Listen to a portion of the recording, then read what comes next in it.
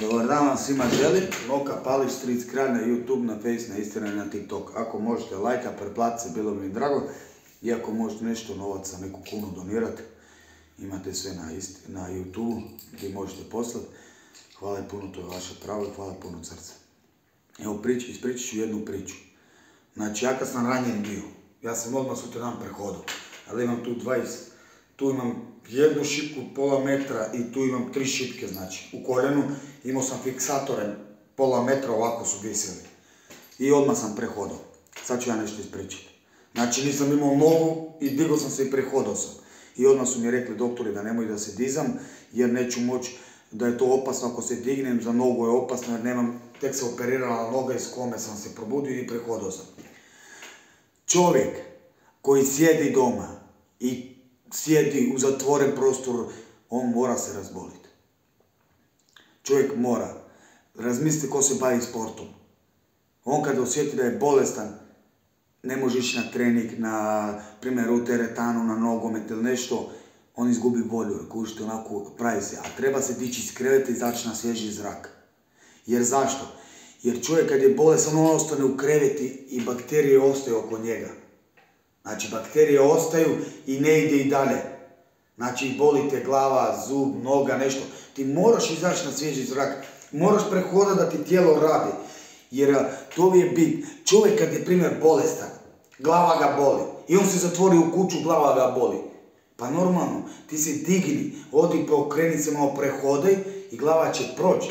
Jer ti kad ležiš, stojiš u mjesto, ti samo truneš. Znači čovjek, svako ko je bolestan ili nešto, mora se dići iz kreveta. Mora otići uh, prohodat malo. Pretrčat.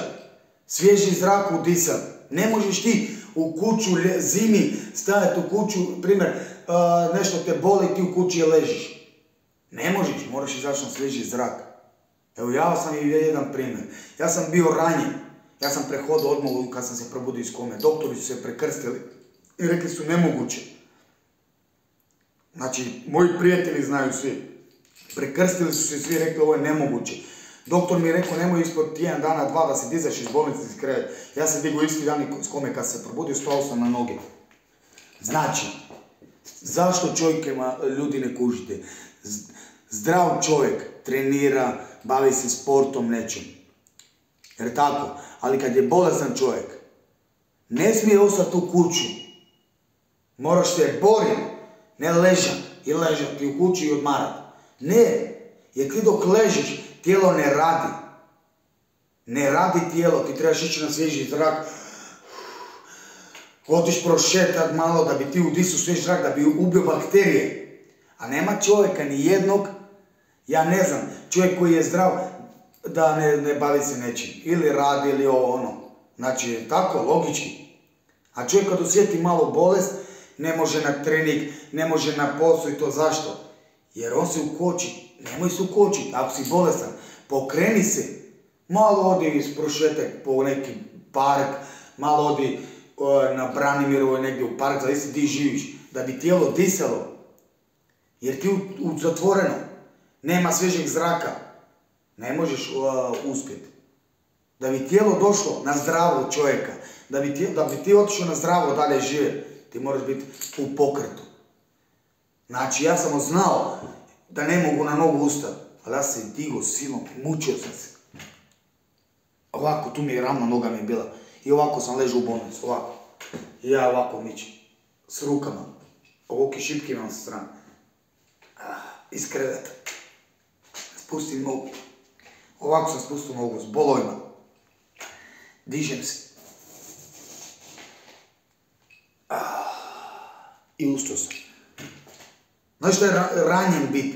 Ima operacije, znači imam sto šipke u nogu i isti dan sam se digao. Eto, to je bit. Znači morate, ako ste bolesni ili nešto, morate se kretati. Jer što više ležite, ne radi tijelo, krvi topi se, ne radi krv, ne radi srce, ništa. Morate ruke kretat nešto, kužite ljudi. Pozdrav svima iz želnog srca i svakom bolesnom čovjeku hoću reći, nemojte odmah ležati u krevetu i odmarat spavat, u kočice.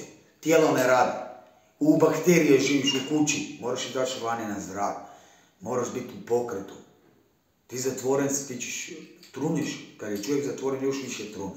Pozdrav svima, vi srce želim.